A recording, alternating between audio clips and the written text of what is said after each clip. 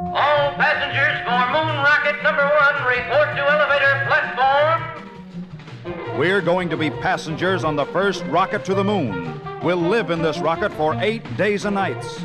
We're going 250,000 miles into space to circle the moon and then return to Earth. We're on a mountain near the equator. On the launching field, our rocket ship points straight up, its tail resting on a metal ring set over a big hole in the ground. That's so the blast of the rockets won't hurt anything. Moon Rocket passengers, please board. Here we go in the elevator to the door about halfway up on the rocket ship. We enter, and the door is sealed behind us.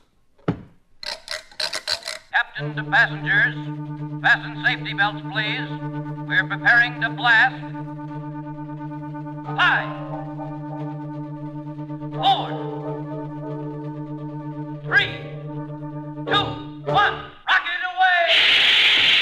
Rocket away, rocket away, by rocket to the moon. In just eight minutes, the earth behind us looks like a giant balloon. Captain, Captain, stop the rocket! I left my wallet in another suit. It isn't in my pocket. You won't need your wallet here, a thousand miles from the atmosphere. We're on the first moon rocket, but someday men will be traveling to the planets. There are nine important planets circling our sun. Little Mercury is first. Then Venus with its clouds galore. Then comes Earth, our mother planet. And reddish Mars is number four. Jupiter is next, a real giant. And Saturn with its shining rings, Uranus seven and Neptune eight, and far out frigid Pluto swings. But little Mercury is first.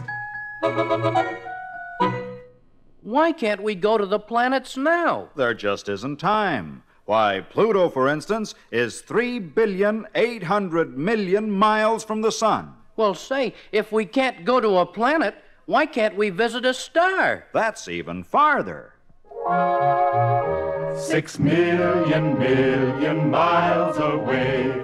That's the nearest star. And there isn't anyone who knows how far the far ones are. If we started in this rocket for the nearest one, we would all have long white beards and the trip would hardly be begun, begun, begun. Would hardly be begun. Attention, everyone! Attention, everyone! Moon ahead! Moon ahead! See, there's the moon, a huge, dead, silvery globe floating below us. The moon is dry. The moon is cold. The moon is pale And hard, and old. it hasn't got a bit of air. Anywhere. There's no more grass than there is on a button. No trees, no seas, no flowers. No nothing.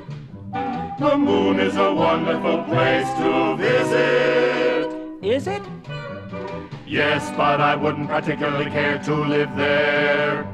The moon is dry, is cold, is pale, is hard. Is old.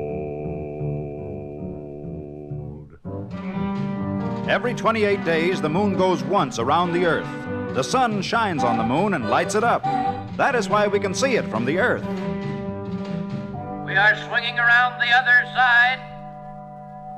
Do you know we're the first people ever to see the other side of the moon? Why, there's another moon shining ahead. That's not a moon, that's the Earth, our planet. And we're going back. Our planet travels round the sun once around we call a year. And as it moves, it swiftly spins with each spin night and day appear. I can see Africa. I can see Asia There's a big ocean. and a North Pole glacier. There is so much to see and know there is so far for men to go. It's good to travel wide and then it's good to come back home again.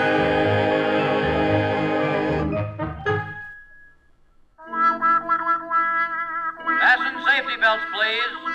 Fasten safety belts, please. We're coming in for an Earth landing. Now we're turning.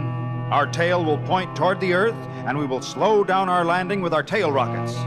There's the field below.